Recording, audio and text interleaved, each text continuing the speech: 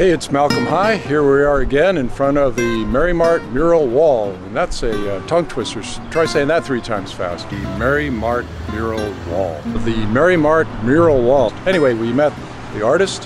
His name is Jason, and we're going to wait until it's completed in a week or two, and then uh, we'll learn more about him.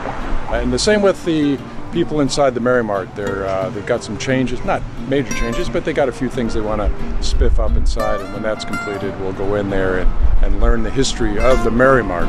I know it's been there since the 40s. And, and again, love Santa Clara. Take care. Bye.